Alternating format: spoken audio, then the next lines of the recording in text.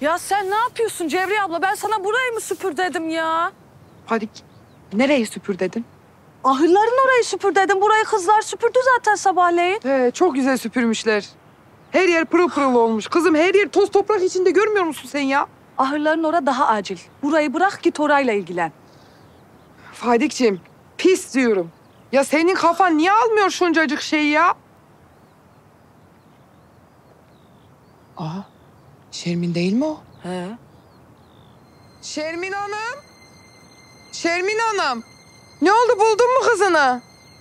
Sana ne? Aa ya niye kızıyorsun? Biz merak ettiğimizden sorduk değil mi Fadik? He vallahi biz merak ediyoruz Şermin Hanım ondan sorduk. He. Allah'ım sen sabır ver bana. Hazır duaya başlamışken akıl fikir de dileyin Şermin Hanım.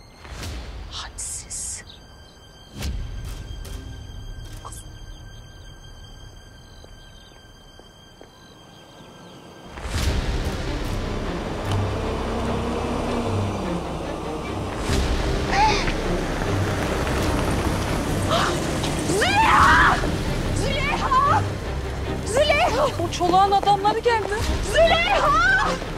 Züleyha!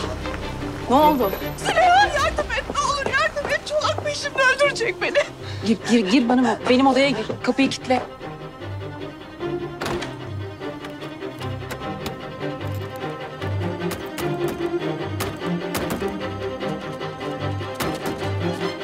Bana bak Şermin! Çık dışarı! Yerin dibine de girsem bulurum seni. Çık dışarı! Şermin!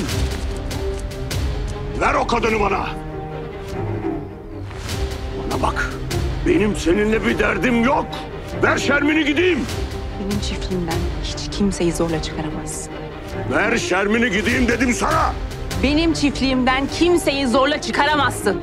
Düşmanım dahi olsa. Son sözün bu mu? O zaman...